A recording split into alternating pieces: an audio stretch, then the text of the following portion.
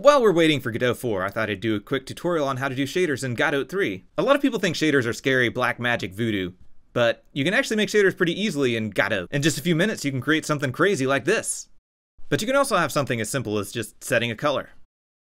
Add a mesh instance to your scene if you don't already have one. We'll use a sphere to start with. Now add a new material. Godot gives you two options, shader material and spatial material. Let's actually start with the spatial material because the really cool thing about Godot is that you can convert it to a shader later. Now, if we click on the material, we can experiment with all the different material properties. The ones you'll probably use most are albedo for color, roughness to determine how shiny things are, and metallic for how much something looks like metal. You can specify solid colors and textures. Note that the color and texture are multiplied together, so in this case, the red color multiplied with the green smile means the smile turns out black. Let's convert this material into a shader and see how it works under the hood. Now when you open the material, you'll be able to click on the shader and edit it. Scrolling down to the fragment function, we can see where the solid color and texture are multiplied together. Perhaps we wanted to add them instead. Just change that star to a plus and boom, you've written a custom shader. Let's make things even simpler. All you really need for a good Godot shader is the shader type, which is canvas for 2D and spatial for 3D, and a fragment function. To change the mesh color, just set the albedo to a three component vector, or vec3 for short, and Godot will take care of the rest with the default values. The vector components represent red, green, and blue. It might be easier to understand if you create a vec3 color variable and specify the components with R, G, and B, like so. Then assign that color to the albedo. You can also simply set things like roughness, metallic, and many other physically based properties. If you look at the fragment section in the shader reference page on the Godot documentation, everything you can set is marked as out. Some other common things to set are alpha for transparency and emission if you want things to be lit in shadow. Let's just focus on albedo for now and set our red channel to the sine of time. A true sign of the times is the fact that we can animate materials like this. This is a little bit slow, so let's multiply the time by 5. Things are a little weird here because the sine wave goes from negative 1 to positive 1, and we don't want negative colors. Let's try to be positive here. Adding 1 will change that range from 0 to 2, and then we can multiply that by 0.5 to scale it back down to a 0 to 1 range. The cool thing with shaders is that you can also modify the vertices. Let's add a sine wave to the vertex y component. That's a bit extreme, so we can just multiply it by something like 0.2. Now we can get even crazier by doing the sine of both the vertex x and time combined to create a ripple effect. Well, it'll look more like a ripple if we multiply the vertex value by like 10. And I just realized I had the view rotated around, so let me fix that so positive x is to the right.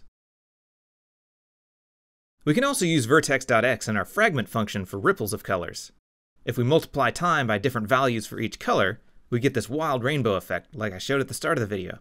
I highly recommend saving your shaders as a separate file so you don't accidentally lose them and you can also reuse them with other materials. Hit the back arrow to go back to the material, right click on the shader, and make unique, then right click and save. I prefer using the shader or GD shader extension instead of TRES as it doesn't wrap your shader with unnecessary text resource headers. Click the back arrow and save the material in the same way. For materials, using the text resource format over the binary format can be handy as you can easily see what changed in version control. Let's add a shader variable that we can set externally. Prefix the variable with the keyword uniform. You can also set a default value. We'll use this to scale our wave height. If we go back to the material, we can open the shader params and tweak this value. Now that the value is exposed, we can set it from a script as well. Let's make it change every time you click the mouse. Go to Project Settings, Input Map, and add an action. We'll call it Do Thing. Then add a mouse button to that action. If you don't have one already, add a script to your scene. Now let's add a variable to easily access the shader. We only have one material on the mesh, so we'll call getSurfaceMaterial with the parameter 0. In the process function, we'll check if the action was just press this frame, and if it was, we'll change the wave height parameter to a random value. Before we test this, we need to add a camera. Pull it back from the mesh a bit, and you can check the camera preview to make sure it's in a good spot. When we run, just tell Godot to use the current scene as the main scene. Now every time you click, the scale of the waves will change to a random value. A pretty important thing to be able to do with shaders is set and manipulate textures. Open the shader back up and add a uniform sampler 2D variable. Using hint albedo tells Godot to convert the image to the correct color space for albedo textures. Now if we go back to the material, we can specify a texture in the shader params. Slap something on with just red and green colors, like this smiley face, and I'll show you something cool. First, let's just display the texture on the mesh. That's simply a matter of calling the texture function with the sampler 2D variable we created and the UV coordinates. And we'll just use RGB because albedo doesn't take an alpha. Let's just comment out the wave distortion for now. Now for the cool part, we can create a couple arbitrary colors as uniform vec3s, say a head color and a face color. Then we can multiply those colors by the red and green channels from the texture, add them together, and the red becomes a mask for the head color, and the green becomes a mask for the face color. To make things a little more clear, let's come up with some better named variables.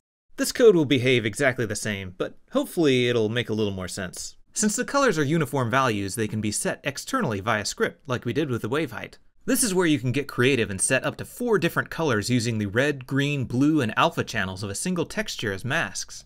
Perfect for character clothing customization. I'm just setting two random colors to demonstrate though. Let's rotate this mesh to face the camera, and now when we run and click, we'll get random colors for the head and face. Of course, we can use the RGB channels to mask more than just solid colors. Let's take the green channel for the face and use our crazy rainbow effect on it. Another fun thing you can do is modify the texture UV coordinates to distort things. Keep in mind the UV values typically go from 0 to 1, so small numbers can have a large impact. I'm just tweaking values here until I find something that looks reasonable. You will program shaders. Shaders aren't scary. One last quick note, you can change the way your mesh is rendered using render mode. You can set this to unshaded if you don't want any lighting. You can also change the blend mode to things like add or multiply to determine how they're blended with the world. Great for making effects. If you click on the online docs at the top of the script tab, search for shading reference, and then go to spatial shaders, you'll find the page that lists all of the render modes and other built-ins. There's more stuff here than I can cover in a quick tutorial, but now you know where to find that information. Hopefully that's enough to get you over your fear of Godot shaders, and if you'd like to see more tutorials, consider becoming a patron, like these awesome people, and let me know what you'd like to see next. A lot of people think shaders are scary black magic voodoo.